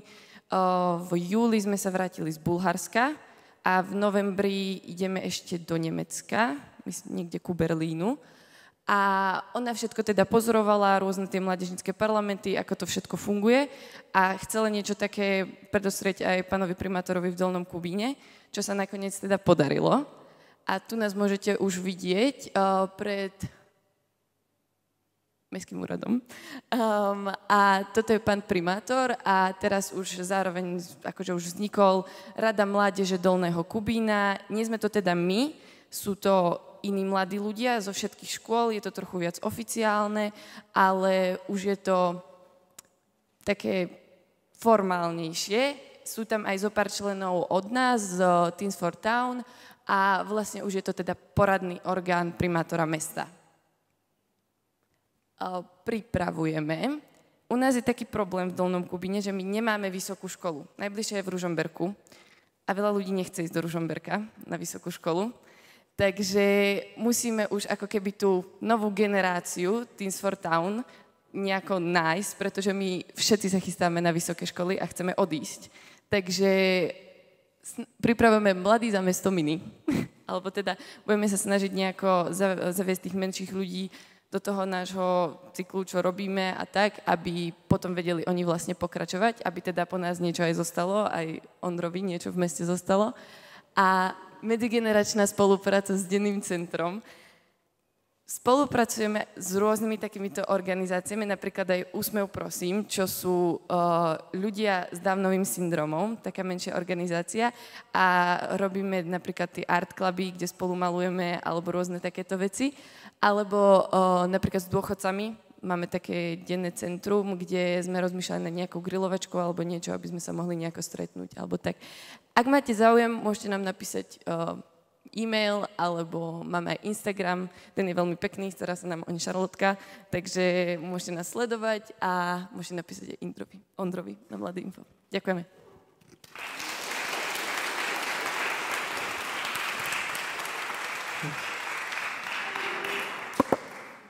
Dobrý, e, teda veľmi pekne ďakujeme. Pardon, ja som si išla nesprávnym smerom pod, pod, e, pod, pod reproduktory.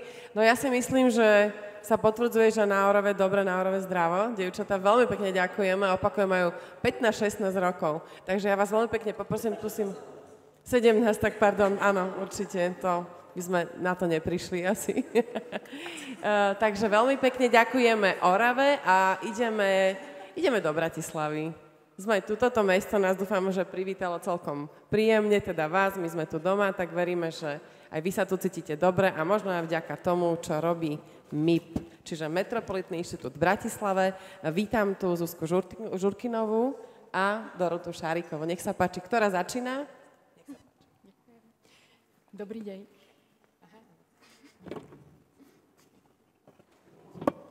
Dobrý deň.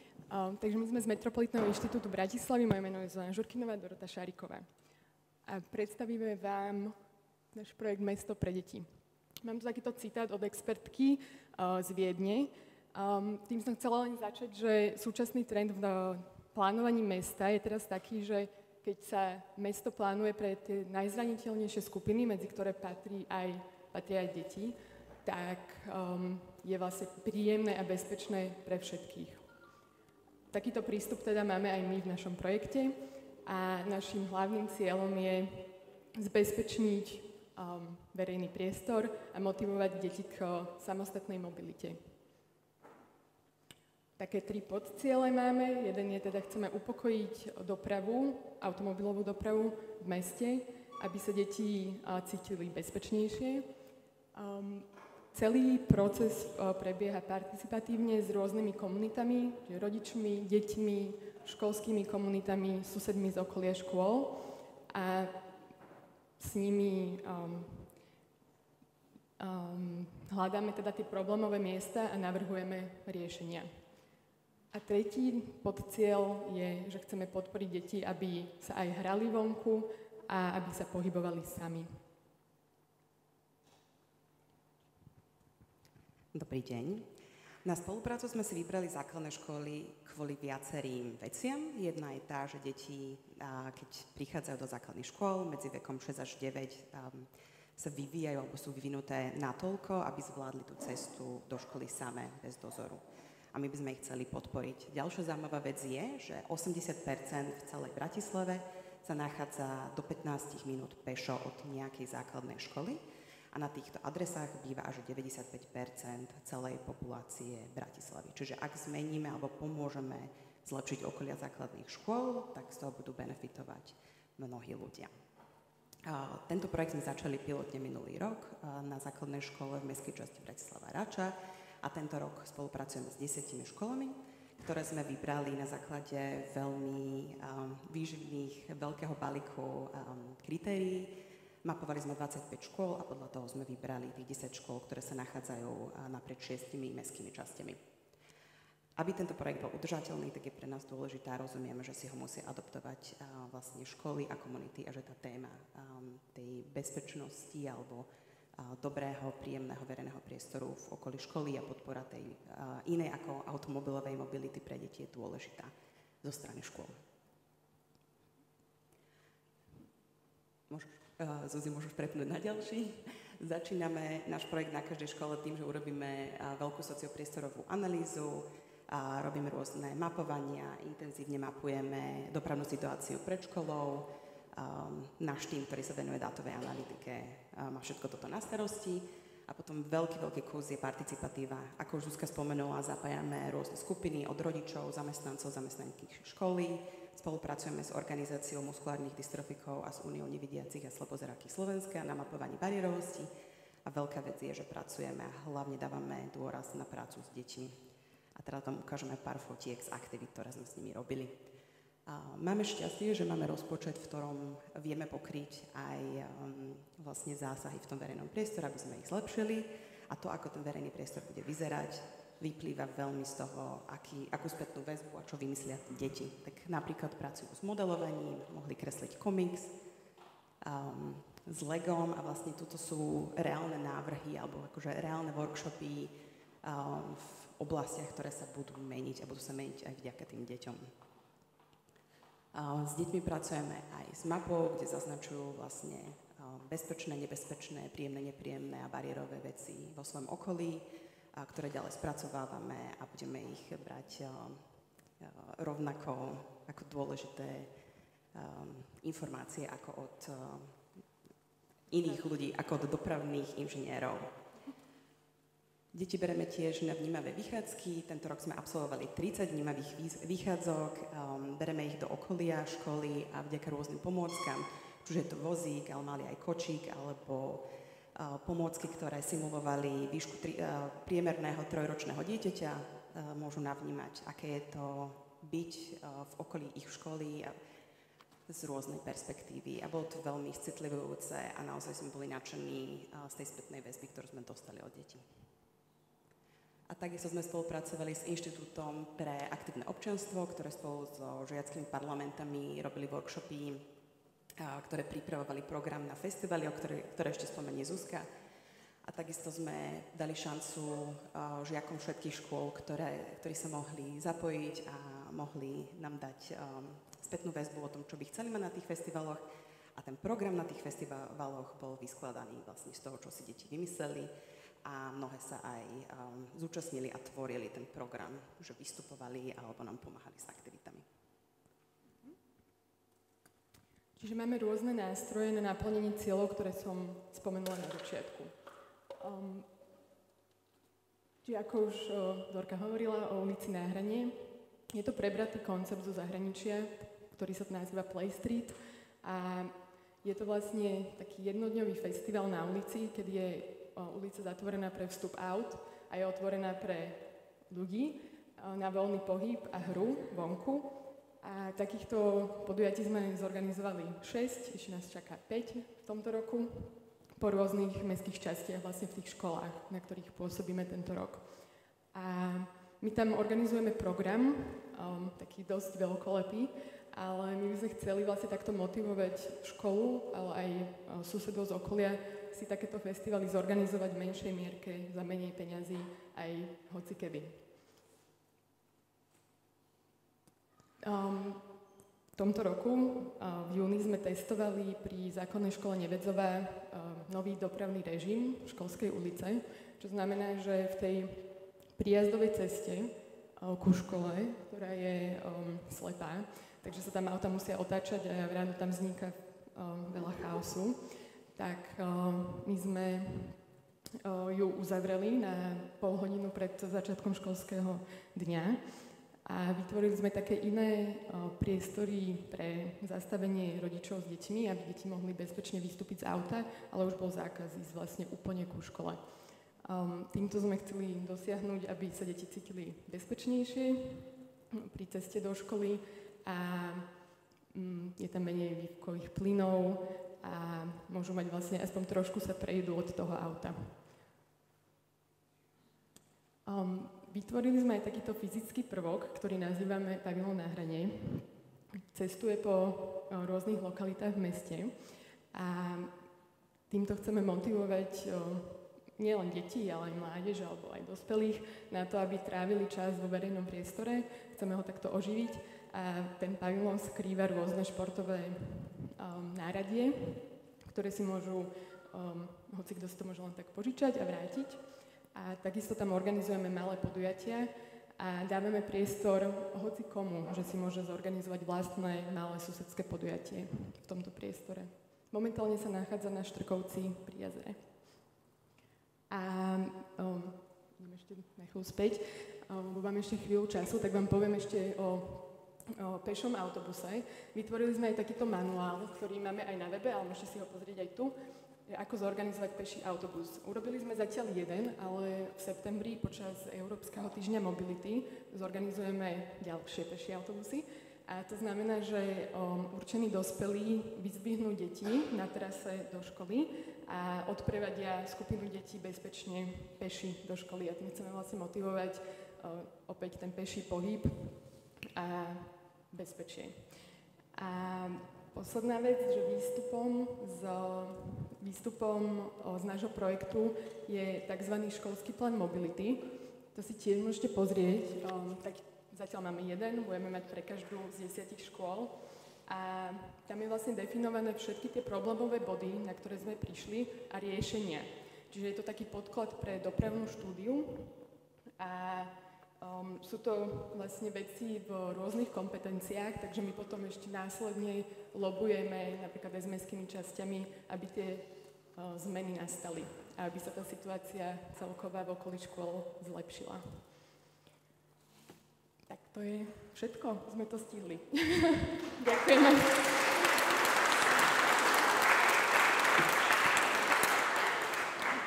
Ďakujeme veľmi pekne Mibu z Bratislavy.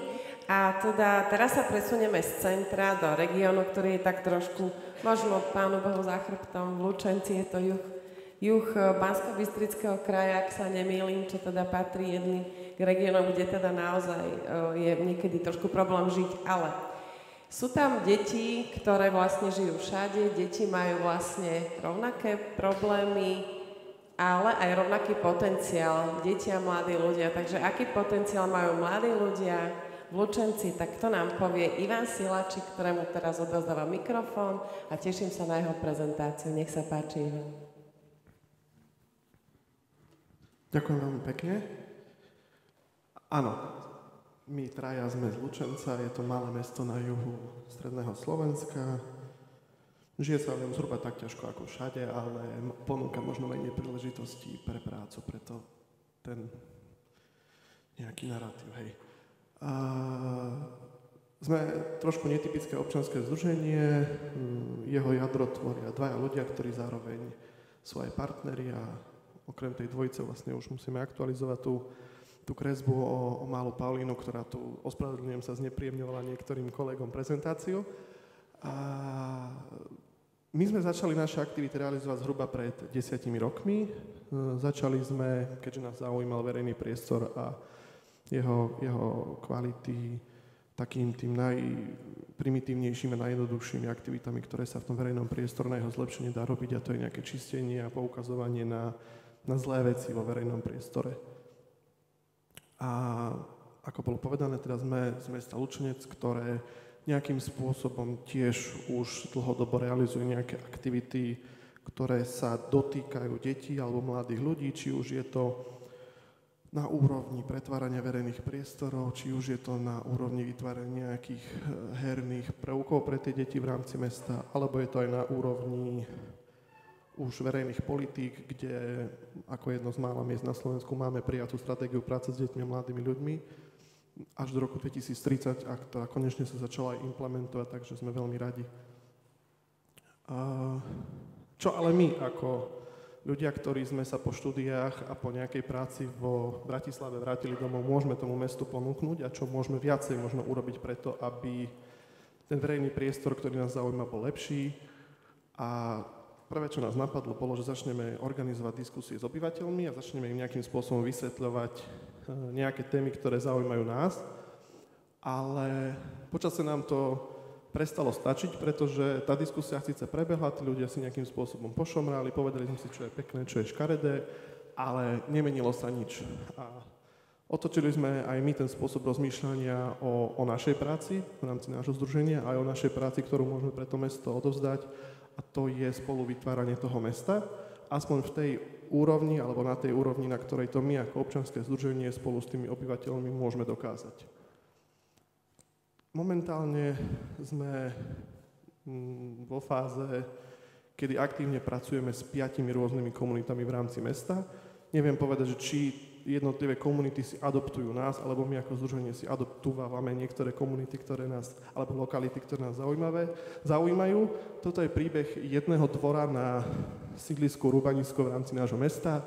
V minulosti atraktívne miesto pre hru detí, to je tá ľavá fotka, a nedávna minulosť, zanedbané, sposnuté detské ihrisko, ktoré už nejakým spôsobom neplnilo svoj účel ale videli sme v tom priestore veľký potenciál práve pre jeho veľkorysosť, čo sa týka zelenej plochy a aj pre to, že okolo neho žije pomerne, pomerne súdržná komunita, ktorá ale nikdy nejakým spôsobom vo svojich aktivitách nevystúpila z predzáhradky do toho dvora a ostávala vždy len na úrovni tej predzáhradky alebo samotného toho bytového domu. Keď robíme tie rôzne aktivity s tými komunitami, vždycky to začína pozvánkou pre každého jedného obyvateľa a máme taký proces, ktorý začína pozvánkou, prechádzame nejakým spôsobom mapovaním dobrých a zlých vlastností toho dvora, aktívne, aktívne kladieme dôraz na to, aby mali nejaké aktivity vytvorené rodičia alebo tí dospelí. Máme aktivity, ktoré sú zamerané prevažne na tie deti. Nikdy to neostáva iba pri tých dvoch oddelených skupinách. Vždycky dbáme na to, aby sa tieto dve skupiny medzi sebou nejakým spôsobom interagovali, vymenali si názory a dohodli sa na kompromisoch, ktoré sú ochotní akceptovať v rámci zmeny toho priestoru. Osvedčilo sa nám, že lepší počúvači aj lepší vysvetľovači sú tie deti a tí dospelí sú viac tí, ktorí nepočúvajú alebo nekladú dôraz na to aktívne počúvanie tých, tých detí. A deti sú aj disciplinovanejšie, čo je zaujímavé. Ale je to asi preto, lebo ten, ten dvor alebo ten priestor, v ktorom bezprostredne žijú, sa ich dotýka a zaujímajú ich, zaujímajú ich tá kvalita, pretože tie deti sú práve tie, ktoré sú v ňom dennodenne a môžu v ňom tráviť ten, ten čas. Výsledkom tých mapovacích stretnutí a tých plánovacích stretnutí je vždy v našom prípade nejaký, nejaký masterplan alebo nejaký komplexný návrh pretvorenia toho dvora, kde si rozdelíme úlohy, čo vedia urobiť obyvateľia, čo vieme urobiť my ako občianske, občianske združenie, najmä teda vo forme získavania malých grantov na pretváranie toho verejného priestoru a čo môže urobiť samozpráva, ktorá vždy je prítomná pri týchto plánovacích stretnutiach. Následne vždy v každom procese prechádzame do fázy práve tých úloh, čo môžu urobiť obyvateľia.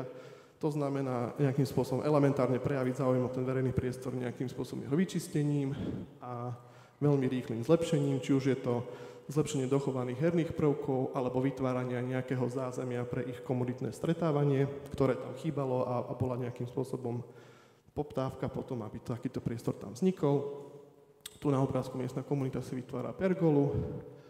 Tak ako pri tom plánovacom e, procese, tak aj pri tej realizačnej fáze dochádza k tej prírodzenej interakcii medzi deťmi a dospelými, či už sú to rodičia, alebo sú to starší susedia, ktorí s tými deťmi či už si môžu vymeniť svoje skúsenosti z toho života, alebo sa navzájom spoznať, pretože hoď sme malé mesto, tak tá anonimita tých e, sídlisk sa postupne zväčšuje. Tak ako v plánovacej fáze, tak aj v realizačnej fáze sú určité aktivity, ktoré realizujú iba deti a tým pádom tie prvky, ktoré na tom dvore vytvárajú, sú pod ich ochranou, dávajú na ne pozor a spoločne ich využívajú teda nielen tie deti, ale aj tí rodičia. Postupne v tom, v tom priestore, okrem tých drobných zmien, sme realizovali aj trošku väčšie. Tu je realizácia úplne jednoduché intervencie osadenia siete, ktoré vytvorilo také provizorné volejbalové ihrisko, respektíve nohejbalové. A samotní tí obyvateľia boli neskôr aktívni aj v rôznych participatívnych procesoch samotného mesta, kedy získali prostriedky na realizáciu malého detského ihriska po každej nejakej etape v tom projekte, ktorý realizujeme s danou komunitou, im sa snažíme vždy poďakovať za to, že v tom procese s nami boli. Nejakým spôsobom zhrnieme, e, čo sa v rámci tej fázy stalo a poďakujeme, ich, poďakujeme im a v prípade sa odkážeme na nejaké ďalšie aktivity, ktoré v budúcnosti s nimi, s nimi plánujeme a zároveň je to taká milá spomienka aj do budúcnosti pre každého obyvateľa, že boli súčasťou takéhoto procesu. Čo sa ale môže stať? Ak aktívne robíte s komunitou na, na úrovni samozprávy. Pokračovali sme ako občanské združenie v tých úlohách, ktoré sme si zadefinovali my, to znamená hľadanie malých grantov na rôzne drobné vylepšenia. V rámci tohto roku máme dva granty na výsadbu zelenia a doplnenie mobiliáru a na jarnú aktivitu, ktorú sme mali v máji, nám prišli štyria ľudia. Bežne nám chodili na tie aktivity 20-30 ľudí, zrazu prišli štyria. A keďže to má byť aj o zlých príkladoch, toto je presne ten e, možno, že príklad zlej praxe, čo sa mohlo udiať v tom procese? Čo myslíte? Stratili dôveru tí ľudia. Stratili dôveru preto, pretože pri tomto nastavení tých, e, toho masterplánu, toho dvora, sa samozpráva zaviazala, že jej úlohou bude nejakým spôsobom vyriešiť vyriešiť uh, úplne uh, banálnu vec, uh, smetné stanovište. A za 2,5 roka, 3 roky samozpráva v tomto neurobila žiaden krok. Je to nejakým spôsobom aj, aj vnímané ako môj problém, keďže som medzičasom sa stal miestnym poslancom a keďže tí ľudia si ako keby v tom participatívnom procese nastavili jasné úlohy, kde začína a kde končí ich povinnosť. A oni cítili, že tú svoju povinnosť v tom verejnom priestore splnili, očakávali, že to, k čomu sa zaviazala samozpráva, aj naozaj, naozaj spraví. Takže odporúčanie pre každú samozprávu vždy odo mňa je nikdy nesľubovať ľuďom nič. Pretože sa väčšinou stane, že e, veľa z toho, čo slúbite, nesplníte a môže sa to veľmi nepekne vypomstiť. Nám aj v rámci združenia ostáva naďalej sa s tými ľuďmi baviť, otvorene s nimi komunikovať, prečo k takýmto veciam došlo. V každom participatívnom procese taká, takýto moment nastane, kedy opadne nejakým spôsobom tá, ten záujem, alebo niečo sa stane a tí ľudia možno na tie aktivity prestanú chodiť. A, ale treba v tom vytrvať a myslíme si, že to má veľký význam. a preto naďalej vlastne tie aktivity aj v tej komunite naďalej pripravujem, pretože sú niektorí ľudia, ktorí tam chcú pokračovať a veríme, že získame naspäť tú dôveru tých ľudí. A prečo vlastne robíme v rámci nášho mesta, ktoré možno, že je na periférii tieto aktivity, pretože chceme, aby aj naše mesto bolo dobrým miestom alebo skvelým miestom pre život. A myslíme si, že ak budeme robiť aktivity s tým cieľom, že budú navzájom medzi sebou komunikovať. Mladší so staršími, ľudia bohatší, možno ľudia z, z, z nevýhodnených prostredí, tak môžeme budovať komunity, ktoré budú rešpektujúce jeden k druhému a ak v rámci nášho štátu budú konečne fungovať komunity, ktoré sa navzájom rešpektujú, možno sa budeme rešpektovať aj my ako, ako krajina. Ďakujem.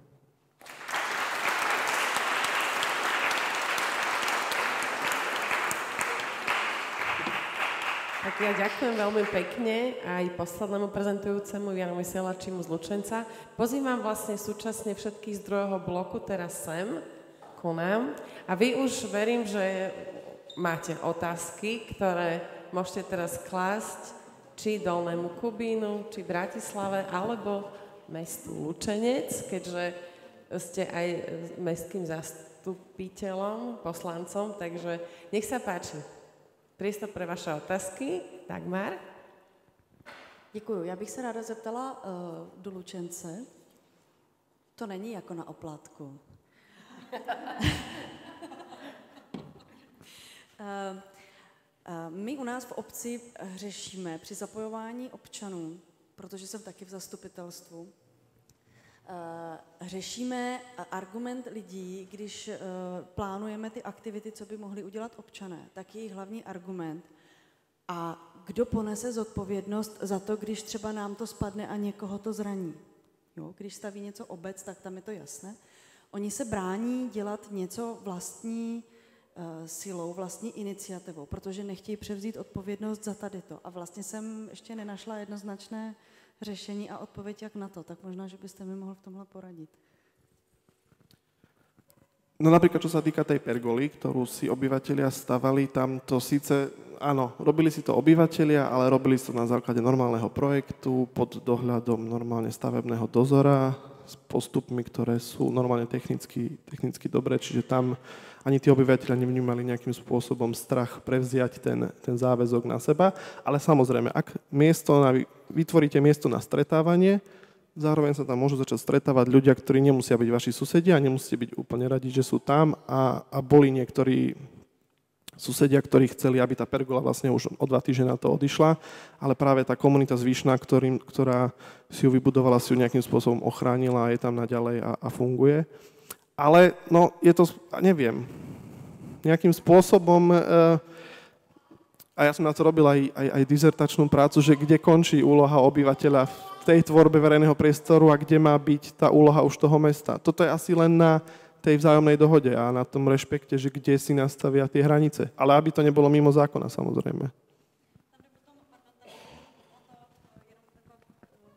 Aby právě, abychom ty lidi v, včlenili do té péči o ten veřejný prostor a o to věc, tak musí udělat něco, aby to pojeli za své, takže i něco vlastními, eh, vlastníma rukama vyrobit.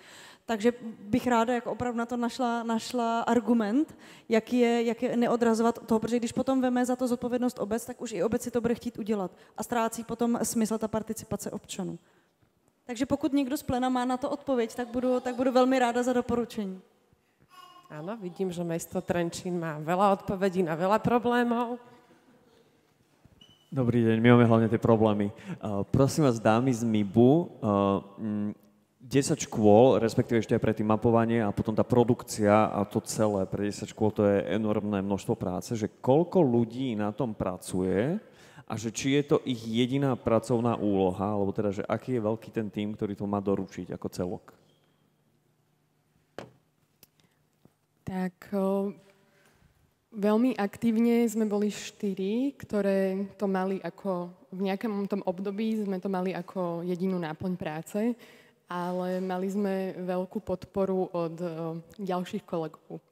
Čiže mali sme aj, máme stážistky na MIBE, v našej sekcii, ktoré nám pomáhajú spracovať dáta následne a tak, ale tú prácu s deťmi, tak štyria ľudia na asi 5 mesiacov full time. Dobre, tu ešte bola otázka, pani Kolarová. Hej? Sa spýtať kolegu oproti mne, ktorý sedí, uh, akým spôsobom alebo aké nástroje alebo opatrenia použijete s výhľadom do budúcna, aby ste motivoval získanie teda späť tej dôvery smerom tých, ktorí ste pomenoval. Tie špecifické skupiny, ktoré boli zo začiatku zapálené, byť nápomocný alebo nejak participovať a teraz nejakým spôsobom trošku možno boli frustrovaní, znechutení, stratili dôveru. Tam môže byť aj ďalšie faktory.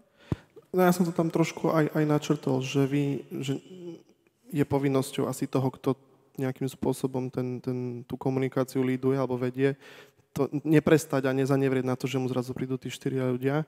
No a my sme to urobili tak, že sa snažíme komunikovať, keďže je to komunita susedov, eh, otvorene hlavne s ich zástupcami v tomto.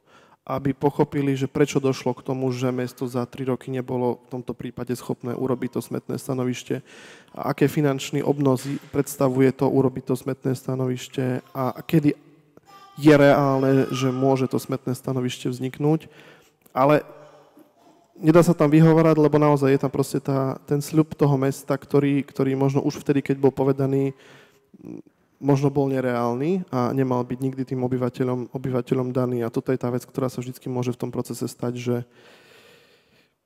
že to príde a tí ľudia sú sklamaní a niektorých už nikdy nedostanete naspäť do toho procesu, ale ak, ja, ja verím tomu, že ak s tými ľuďmi budeme hovoriť otvorene a prezentovať im reálne reálne situácie a nie sľuby, tak oni pochopia, prečo sa tá vec udiala a možno sa do toho procesu, do toho procesu znovu vrátia. A my dúfame, lebo máme vysádzať stromy na jeseň, takže verím, že nebudeme ich sadiť dvaja. Súhlasím, ďakujem. To je podobne aj pri týchto nástrojoch. A ešte na dve dámy mám otázočku, či plánujú postupovať aj trošku v rámci celého Slovenska aj do menších obcí alebo nejakých menších miest, lebo v podstate vieme, koľko máme počet obcí na Slovensku, koľko máme miest, či budete inšpiráciou aj pre tých ďalších, či sa budete rozrastať. Mm, no máme dosť práce v Bratislave, čiže nemyslím si, že my uh, fyzicky osobne pôjdeme uh, pracovať pre iné samozprávy, ale um, už, uh, už teraz sa nám ozývajú niektoré mesta, že by chceli um, poradiť, ako k tomu pristúpiť, takže plánujeme urobiť aj nejaké, um, nejaký webinár, dajme tomu nejaký vzdelávací modul, um, kde odovzdáme naše skúsenosti. Takže áno. Ďakujeme veľmi pekne. Ja ešte ja, veľmi rýchlo doplním. Pardon. Na stránke mestopredeti.sk sú na stiahnutie um, materiály, čiže ľudia sa môžu inšpirovať a budeme veľmi radi, ak aj iné samozprávy alebo aktivisti by chceli pokračovať v týchto aktivitách a veľmi v tomu vyzývame. Pardon, Alenka, slovo je vaše. No, takže vidím, že debata sa bude rozbiehať, bude asi pokračovať už po skončení. Tu ešte jedna posledná otázka, lebo čas sa nám naplnil, ale posledná, nech sa páči. A ďakujem, ja by som sa chcela opýtať slečen z Dolného Kubína, že teda kde všade ešte sú takéto organizácie, ako takýto parlament, že či je to, na, je to napríklad v Žiline, niečo také, takýto uh, študentský parlament alebo niečo také? Ja si nie som istá, ale viem, že tam je niečo šilná záriečie, niečo také, viem, a že tam sa môžu stretávať mladí ľudia takto, mm-hmm. ale neviem presne, ako to funguje. Čiže to, neplánujete sa nejak, že viac rozširovať tiež do um, nejakých uh, miest iných na Slovensku? No, ja si myslím, že my nie, mm-hmm. že my zostaneme primárne v tom dolnom Kubíne, ale t- netuším. Fakt, ale asi iba v tom dolnom Kubine, lebo pre nás by to bolo aj náročné, keďže my sa máme tie pravidelné stretnutia. A neviem, či by to bolo celkom také, predsa len máme aj Ondreja, takže máme aj ten priestor super, ten coworking, kde môžeme prísť, je tam ten Ondrej, pomôže nám, máme notebooky, máme všetko, je to super priestor. A podľa mňa by to bolo aj veľmi dlhé na tú realizáciu, že aj ten priestor nájsť, aj všetko toto. Ja mám tak, takú odpoveď na to, že to je vždycky na organizácii tých mladých, ktorí sa zorganizujú sami v tom meste konkrétnom. Eh, Ja, ak Že môžem iba k tomu doplniť, že my sme jediný coworking napríklad na strednej škole na Slovensku a ak, je to len vďaka tomu, že pani riaditeľka bola otvorená tomu, že z tých tried eh, vie niečo prerobiť, máme nejaké zmluvy a tak, ale my strašne radi cestujeme do nejakých iných miest. To nás hrozne baví. Preto ste na našej konferencii. Áno, čiže dve noci. Čiže keby ste nás niekde pozvali, že proste na nejakú diskusiu, tak ja vždycky zoberiem eh, nejakú partiu mladých a my vám môžeme sa porozprávať, že ako sme to my spravili, ako by ste to vy mohli spraviť, buď nejaký priestor prerobiť, alebo nejakú partiu dať dokopy, čiže to nás hrozne baví. Takže stretávať sa môžete aj mimo našej konferencie a veľmi pekne ďakujem našim hosťom z Lučenca, z Bratislavy a z Dolného Kubína.